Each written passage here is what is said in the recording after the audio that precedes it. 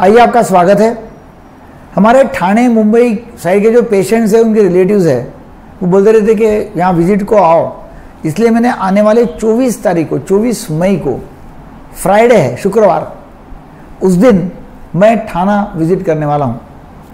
सुबह 10 से 1 तक twenty fourth of May Friday को मैं थाने में आऊँगा।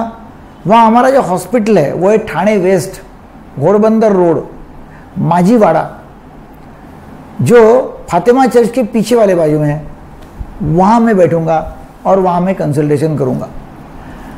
आपको हर तरह की मानसिक बीमारियाँ हो सकती है मतलब जिसको भी मानसिक बीमारी है, जिसमें स्किजोफ्रेनिया है छिन्न मानस एंग्जाइटी है डिप्रेशन है नर्वसनेस सैडनेस है, फिर मैनिया अटैक आता है, उन्माद का अटैक है।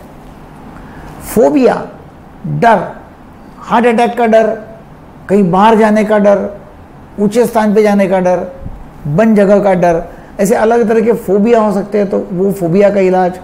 वैसे लोगों को पैनिक अटैक आता है, कि एकदम झटा एकदम ज़ोर से ऐसा झटका आ जाता है, जिसमें उनको लगता है कि भाई मैं मर जाऊँगा। कुछ तो भी हो जाएगा और मर जाऊँगा। ऐसे जो पैनिक अटैक आते हैं तो उसका इलाज। उसके साथ साथ हिस्टेरिकल फिट्स हिस्टेरिया के झटके जो आते हैं एपिलेप्टिक फिट्स एपिलेप्सी के झटके आना। तो ऐसे अलग तरह की मानसिक बीमारियाँ सरदर्द है, नींद नहीं आना माइग्रेन आधा दर्द, ऐसी काफ़ी सारी बीमारियों का इलाज मैं वहाँ करूँगा।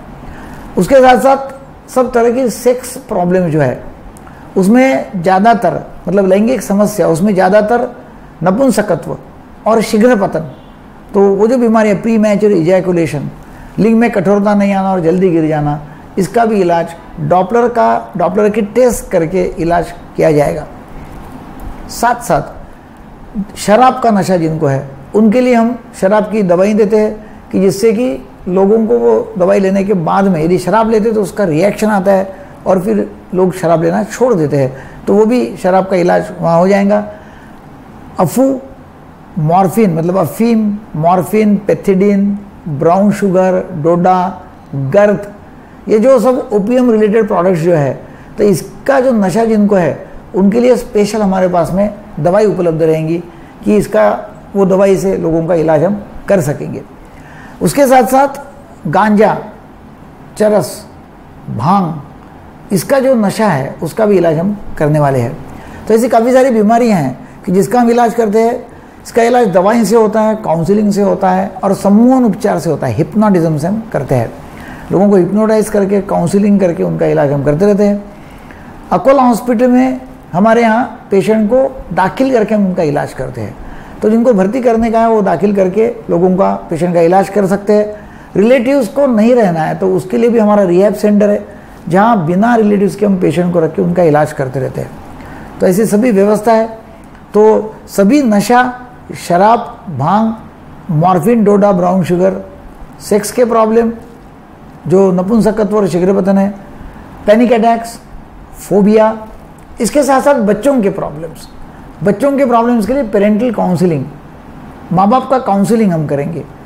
और उसमें बच्चों के स्पेशली स्कूल नहीं जाना स्कूल फोबिया है, फिर बच्चों का डिप्रेशन है नर्वसनेस है, फिर हाइपर काइनेटिक एक्टिविटी ज़्यादा करते हैं बच्चे। Attention deficit hyperactive disorder hyperkinetic syndrome उछल पुछल करना, एक जगह नहीं बैठना, धूमधाम करना, बच्चों को आने वाली फिट्स फिर बिस्तर गीला करना। ऐसे अनेक बच्चों की प्रॉब्लम के लिए भी इलाज हो जाएगा। दवाई से इलाज होता है काउंसलिंग से इलाज होता है हिप्नोटिज्म से इलाज होता है।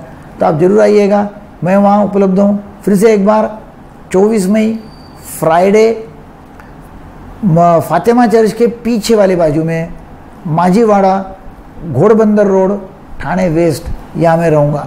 ज़रूर आइएगा थैंक यू वेरी मच